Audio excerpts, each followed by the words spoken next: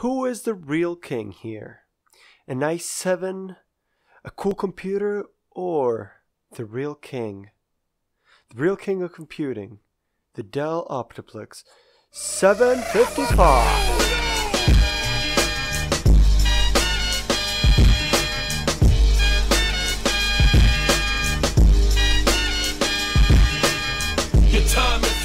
After an infinite installment of Windows, I finally managed to boot into the system, fix some bugs, which were caused, I think, by a bad port on the motherboard. So I got a graphics card, which is a HD 7470. And trust me when I say it's not a gaming graphics card, it will perform 4000% worse compared to a GTX 1070 but it's alright. So, yes, I managed to get some benchmarks in, and the first one I got was Cinebench Run, which was definitely everlasting. It's probably the whole thing was over four minutes, I guess. I don't I don't even remember.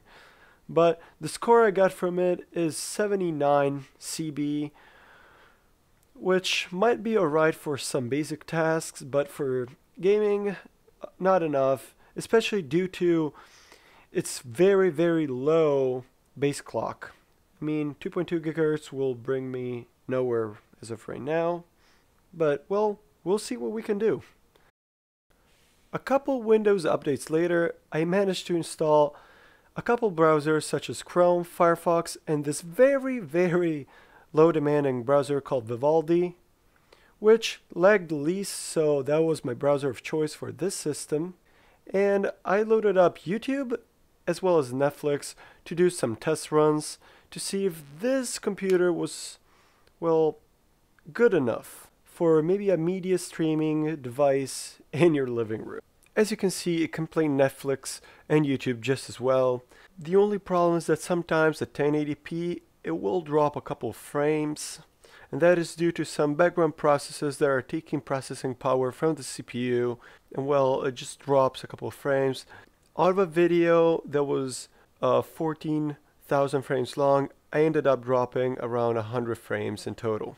Heaven's benchmark well as you can see was a mess. With the average of 3 to 4 FPS it was definitely unplayable.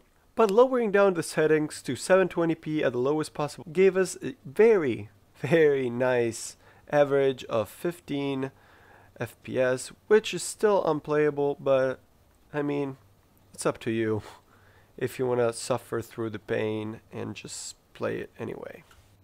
CSGO is completely unplayable with, well, constant freezes. While Minecraft ran at 24 FPS at its max settings and lowering down the settings quite a bit gave us a very very nice 78 frames per second on average after world gen because that was just a nightmare. Rendering videos on this system it is possible but you definitely have to reduce the quality and the render times are just tedious and long. Very long. With that said, just stay tuned because I plan into transforming this PC into a computing battleship. Next is going to be a graphics card update and probably install of Linux, so please stay tuned and see you later.